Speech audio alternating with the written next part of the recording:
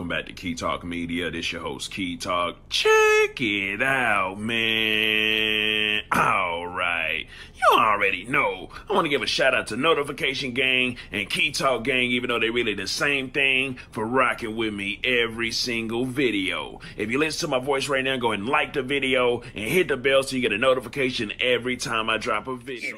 Anyway, so it looks like paperwork has finally been filed, and it's also looking like the four of the five O Block members that actually, you know, they arrested for the murder of FBG Duck. You already know. While they were out, they probably was buying mirrors, buying Rolexes, buying expensive clothes, you know, the latest shoes and everything like that. But now that they locked up behind bars, it's actually paperwork coming out now that says that four of the five of them actually gonna have a public defender lawyer. The only person person actually got a paid lawyer is going to be Muwop. Anyways, a lot of people in the comment sections like, why in a blue hell only one of them got a lawyer? Why Durk ain't putting on for his O Block team? You already know. Mama Duck said that, you know, talking about if all them got in trouble, that Durk would not be there to help them out. And you know, Durk is probably like, man, I would send y'all some money to help y'all with y'all lawyers, but the feds is already all over me anyways. As y'all may remember, some of the little Durk people actually actually did get arrested, got ran down by the feds into a crib. You know, Durk's been having a whole lot of stuff that's actually been going on with himself from people running inside of him, his crib, him and India having to act like Mr. and Mrs. Smith and shoot back to protect themselves. So Lil Durk is probably trying to stay the blue hell out the way of anything that got to do with the feds. Now you know. The next thing that everybody's going to watch for is to see if the four musty dusties that don't have an actual lawyer, if they're actually going to, you know, stay solid and stick to the street code or if they're going to start snitching, you know what I'm talking about, so they can cut their time short since they already don't have an actual lawyer.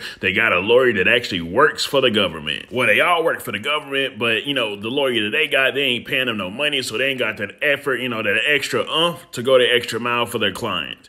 Anyways, let me know something, man. How do y'all feel about these? You know I'm talking about? You've got four musty dusties without a lawyer. You've got Muwop. He seems to be the only one out of the five that was actually, you know, doing something for himself and for his life. And, uh, you know, he's actually got a lawyer. Maybe he'll be the one that actually gets out or gets the least time or something like that. But, of course, only time will tell. Let me know something. RIP FBG Duck. Coming down below, let me know what you think about this entire ordeal. I'm out.